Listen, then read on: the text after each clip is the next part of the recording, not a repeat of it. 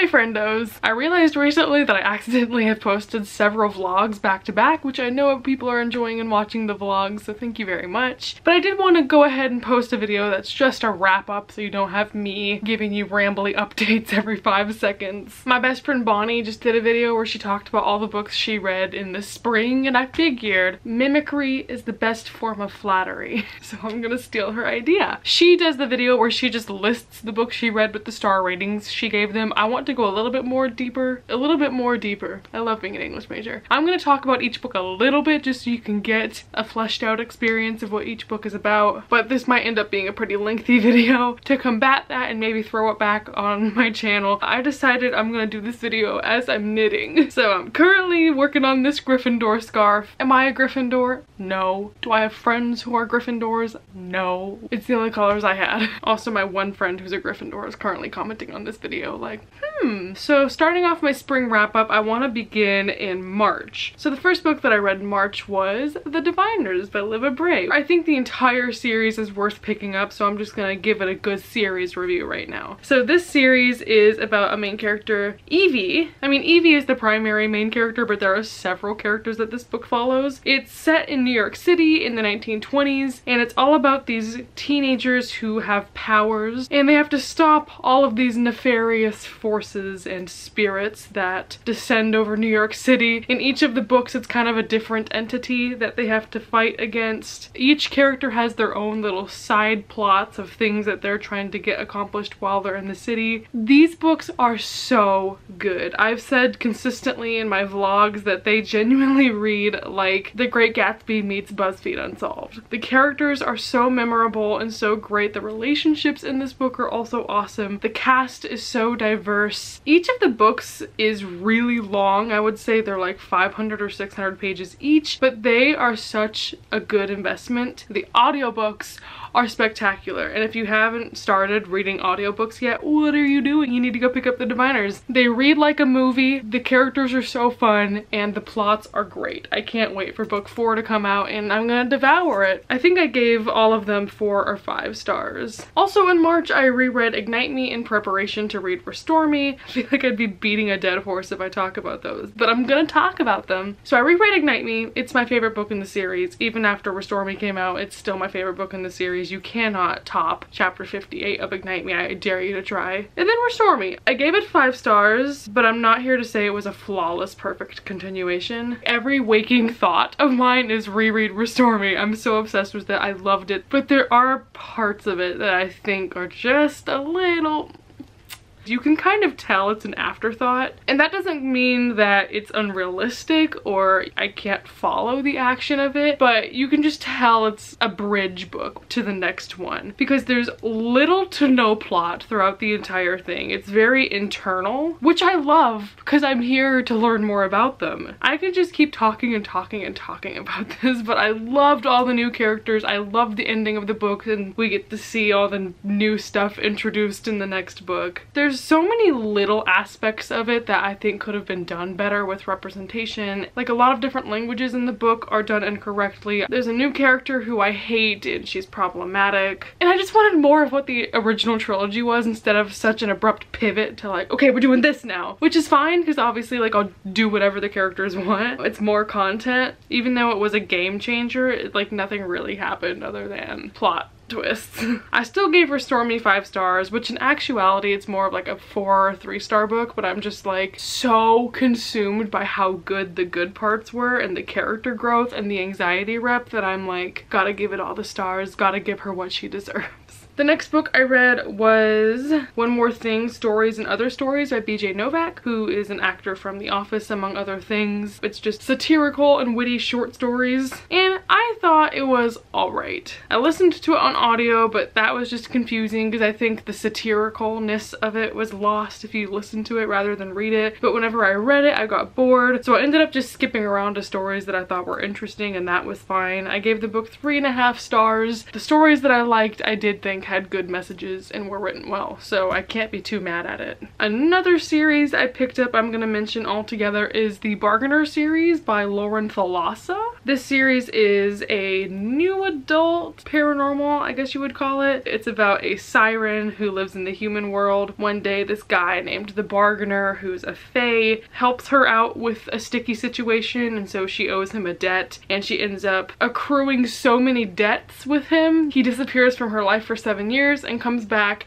and is like, hey, time to fulfill those IOUs. I need your help with some stuff that's going down in the fairy world. So he whisks her away to his night court, as it's very elegantly coined. It's about them working together on some stuff and then their subsequent relationship. I call this book the Walmart brand of ACOMAF because as you can tell, it's basically the same thing. The way that this is written is very much in the new adult style of like, oh my god, his abs were so good, sweet baby Jesus. Like that sarcasm that I am not a fan of, especially in dark fantasy in a world where women are being raped in their sleep and these demon children are taking over the world. Like it was such a weird writing style to have for a very dark world. However, I do think the relationship was healthy. I liked the two characters even if there were cheesy moments between them. The main downfall of this book is just that I wish a good editor would take a crack at it, have the author flesh out the world and flesh out the story and get rid of the cheesy writing style and just dive into descriptions. Make the characters who are already interesting just pop off the page. I think it's worth the read if you're interested in it and if you want something with fae that has good romance. It's not something that wowed me. Next, I finished another new adult series called the Off the Map series by Lia Riley.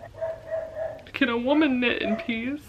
This is a romance series that's set in Australia, and this is actually a continuous series and not a series with spin-off novels, which is something I'm so thankful for. So this entire series follows two characters named Talia and Bran. It's all about Talia, who goes from LA to Australia to study abroad, and then the rest of the books just follow them having fun, doing stuff. I think this is a really cute series, but I'm also gonna say if you're Australian, you probably wouldn't like it. I think this book was was written by an American, so it probably idealizes a lot of Australian guys and romanticizes like accents and stuff like that. As far as the romance in this series, it's one of the best ones I've ever read. It was healthy and refreshing. It wasn't cliche at all and it wasn't sex scenes that I thought were gross either, so it was a really good balance between being steamy but not like hyperbolic and disgusting. The main downfall of this series and the reason why I would always rate them four stars instead of five is because the writing style is so corny. The characters are constantly making jokes to each other in dialogue. Even in scenes where they were literally dying, they would still try and joke around with each other. And although it was cute sometimes, more often than not, I was just like,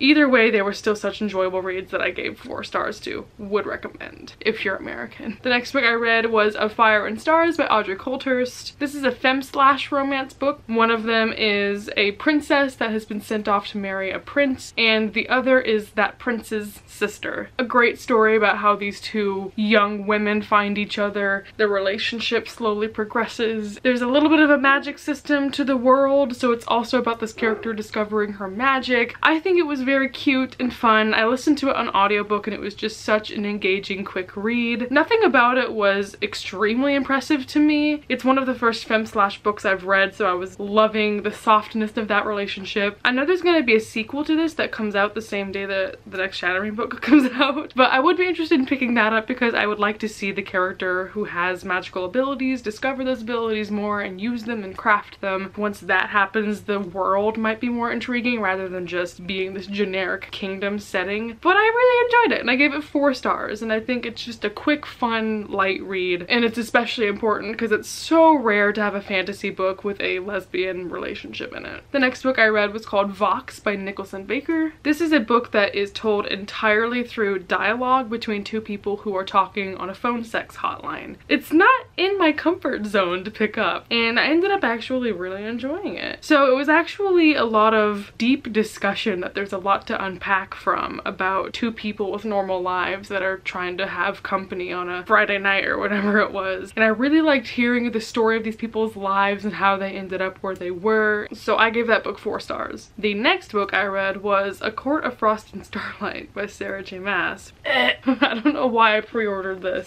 If it was for the pen or whatever they were giving out, I still haven't gotten that, so lies. And it's supposed to be a bridge book between this series and the following series that's gonna be about a new character. But here's my problem with that. Um, that whole sentence and the way they pitched that is a lie. Because this whole book just reads like an epilogue and they could have charged like three dollars for it. The way that this is written is complete fan fiction and fan fulfillment. And i know the same can be said about restore me being just an addition to the series and it's not anything necessary. But this book really had no stakes. It was just like a christmas morning and everyone was shopping for each other and everyone was drinking every other chapter. And there was no actual plot purpose to this book. And the character that this next series is about wasn't even in the book. So you can't sit here and argue that it was a bridge book if they're not there. It's not it's just more porn. I did a whole Goodreads rant on it and I say check that out. It just isn't worth the money. I think it was kind of a scam. It feels like the story should just be done. Like Rhys isn't interesting anymore. Feyre just sits around in the house and does nothing. She doesn't even lead as the high lady of the court. That's all I'm gonna say. Where'd my string go? Next I read a new adult book called Last Will and Testament. What am I doing? By Dahlia Adler. The main character's name is Lizzie and at the beginning of the book both both of her parents die tragically and so she's having to balance taking care of her two younger brothers with attending college. And the book delves into her relationship with the TA of one of her classes who's trying to help her and they end up being more than just student and teacher so it's one of those books. I basically just read romance books now to see like was it healthy? Yeah good. Three stars bye. It did what i was expecting of it and i wasn't disappointed by the romance at all. I love the male main character and the plot was easy to follow and good and the writing was fine. My issue with it is the main character. I just could never see eye to eye with her. I just didn't understand why she did the things she did and that was frustrating for me. But otherwise nothing really sticks in my head as something that i did didn't enjoy about this book. So if you're looking for a good romance and you can deal with the main character who's kind of irrational and mean to people for no reason, you should try it because it's a good little story. It's worth it. Next, I read another romance book. It's summertime now, so I'm getting a lot into romance. And I read The Hating Game by Sally Thorne, which is a new favorite book of all time and a definite favorite book of this year. This book is an office romance about two co-workers who hate each other, but they, you know, it's a romance book, so they stop hating each other eventually. the way that this book's plot is written was just so slow burning, but it was never boring. It just had the perfect angsty situations between the two characters that made it addicting to read. I did have a lot of small issues with it, like the main character trying to make a lot of her jokes will say some distasteful things sometimes and use words and things that we shouldn't be saying ideally. Also, the love interest could sometimes get a little little protective and do creepy things like when she's on the phone with another guy he takes it and hangs up but the grand scheme of the relationship is so soft and cute that I just can't help but give it the credit it deserves as a great romance story so I gave this book four and a half stars and I would highly recommend it. The final book I'm going to talk about is A Very Large Expanse of Sea by Tahereh Mafi. It is her own voices contemporary novel about a girl named Shireen who is a Persian American young girl in high school who moves around a lot. The book is set post 9-11 so it really delves into all the prejudice that